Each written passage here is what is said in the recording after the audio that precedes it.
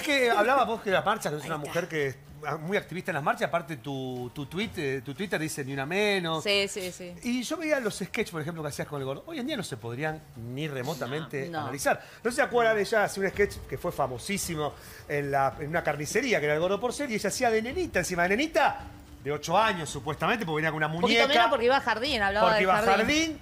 Jardín. Y No, bueno, era el gordo por ser le tiraba las cosas para que se agache y le miraba la cola y se iba para atrás y todo. O sea, una ¿Quieres un- nenita de jardín, cinco años. Dale, Carlos. Pero está Claro. bien, pero era obvio que Pero no era ella. realmente- A lo que voy es esta cosa de la mujer cosificada, que era, no era por, por porcel, digo, era Sí. un paradigma de la, de la época, ¿no? Sí, sí, sí. pasaba lo mismo con Negro Olmedo, cuando hacía las la descargas, todo con Sí, con sí, sí, sí, Digo, todo Hoy no eso. se podría hacerse, o sea. no, no, de hecho, cuando salió el, este, viste, de mm, eh, Prandies, no, Sí. de Prandi, La nena, cuando es salió una también nena. salió lo mío, que bueno, que ahora no se podría hacer, obvio que no se puede hacer. Igual me hice el disfraz en una fiesta de disfraces, en febrero me hice el disfraz, así que lo tengo. Lo El disfraz de Sí, recordando la época. Tengo ganas de hacer un stand-up y yo digo, a ver si en algún momento arranco como nena, con esa, con esa vestimenta que yo, yo, sin que se vea tanto media y portaliga, pero como una nena preguntando por cosas cotidianas de hoy en día que no existían en ¿Y ese qué? momento o estaban Ahora, tapadas. igual, perdón, pero una, digamos, el humor de aquel momento era ese, ¿no? Sí. Y, y decimos, comparamos Olmedo con el Mano Santa,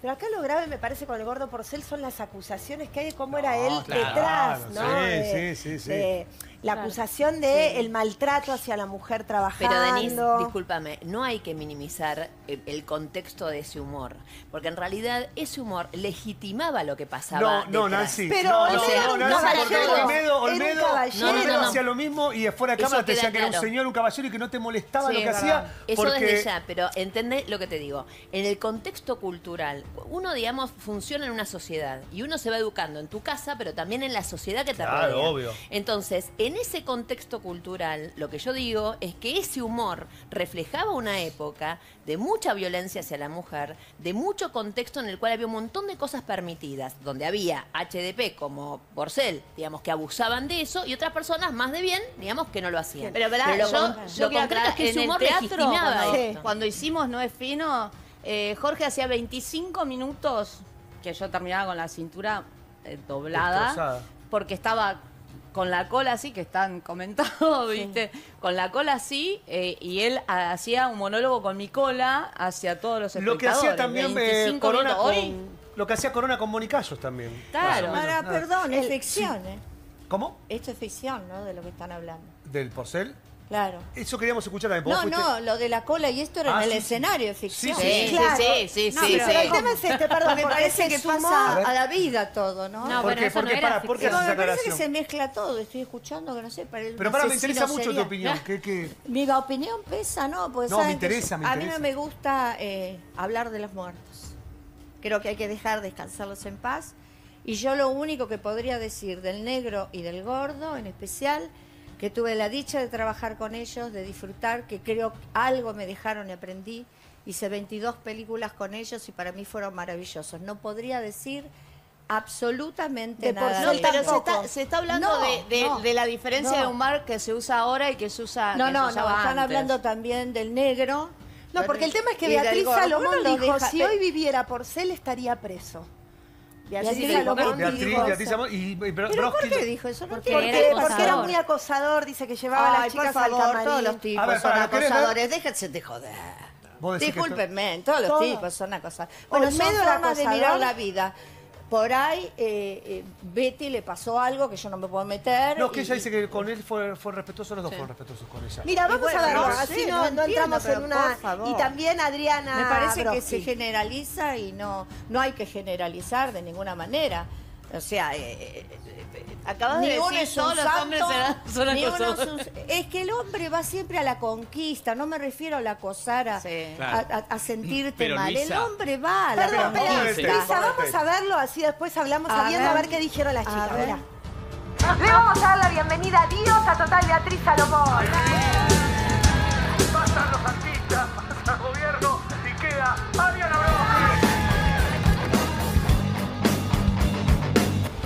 qué recuerdos tenés de Jorge Porcel? Eh, tengo el recuerdo que em, después de la muerte del negro, bueno, me llamó para hacer teatro y televisión. Y por ahí tuve una vez un, un tema. No, era medio cretinucci, sí, sí, sí, ¿no? sí, sí. Medio Bueno, cretinucci, sí. que era criticó. No, no, no, era medio que, Sí, era que verdad. acosador. Todos nos enteramos de todo, o sea, o sea, no hay secretos, ¿entendés? Por ahí Claro. no querés contar, por respeto, por esto, por lo otro, pero todos sabemos todo.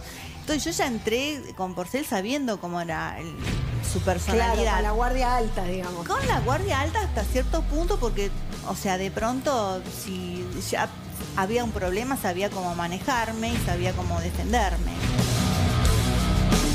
Era más bravo que Sí, nada, Ahora te voy a decir algo. Muchas mujeres, que no voy a abrir la boca, pero muchas, muy famosas, muy lindas, se acostaron con él Sí. o hicieron alguna historia con él para trepar.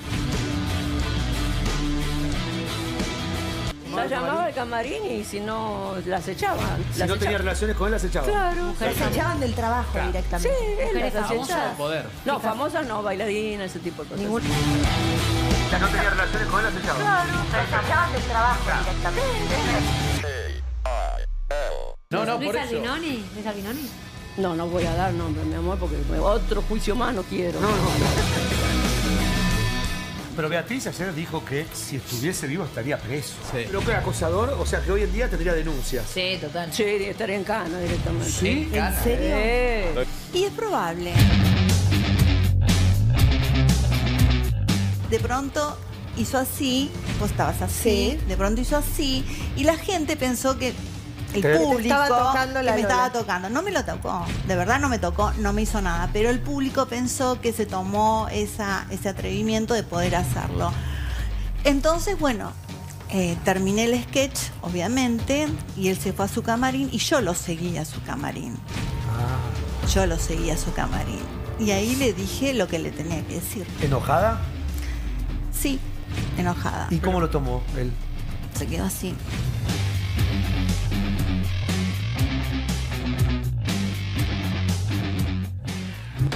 Bueno, el denominador común, eh, no solo por esta nota, sino por la cantidad de gente que uno habló. Lo mataron. Lo ma- siempre. O pero sea, siempre. eh, el negro era un santo y el gordo un demonio. Así Sí. es más o menos la cosa. Yo no quiero hablar de, de esas cosas. La verdad que cada uno habla de acuerdo como le va en el viaje. Cada uno maneja su carrera como quiere y Como como puede. Este, son distintas formas. Yo creo que llegó el momento que hay que dejarlos descansar en paz. Y si aprendimos algo con los muchachos, empecemos a demostrar. Vos fuiste Vos, pareja Sandra, de, de- de Yo fui, yo fui pareja ¿Cuánto de, pero entiendo que a otro le, seis años. Ah, un montón. pero entiendo que a otra persona le puede haber pasado, porque a mí me ha pasado con otro. A mí yo También la- habría que hablar de los que acosan ahora. Sí, sí, Claro. también ¿Eh? hablamos. Ahora, chica. También se habla, Ahora. sí, También se está hablando, Sí, se bueno, empezó a hablar. sí. Pero claro, Pero, pero, perdón, no, Sandra- tendría que estar preso, lo tendría que. Pero hay que hablar de lo de Yo, ahora. yo tengo otra experiencia. Eh, En dos años que trabajé con él, eh, empezaba, estaba todo el mundo, quería que su hijo sea tenista y toda este, madre quería que su hija sea vedette. Entonces venían chiquitas de 15, 16, 17 años con la madre al lado y la regalaban. Ah, y cuando bueno. nosotros nos íbamos del Pero programa son las siempre yo- madres, corazón. Claro, yo Claro. pasaba por el por el camarín a saludarlo y me decía, vení. Me mostraba las cartas que le mandaban las chicas regalándose. Eran impresionantes. ¿Pero qué es regalándose? Regalándose, haría cualquier cosa con vos, sueño con vos, siento que hago el amor con vos. Pero todo ay, para te- escalar, ¿no? Porque. Obviamente, es para. ¿Y él qué hacía ¿Y vos con pensás eso? que ahora no se ¿Y él qué hacía con eso? ¿Con una nena No, de me 15 decía, años? pero Sandra dice, tiene la edad de mi, Claro. de, de mi nena. Era más chica la nena. Este, nunca lo vi acosar a nadie. Sí, insultar. A Yuyito la he insultado, no había grabación que no le insultara de arriba a abajo. De Yo no arriba hice abajo, la arriba gatita, abajo. no sé. ¿Y cómo qué es insultar? No.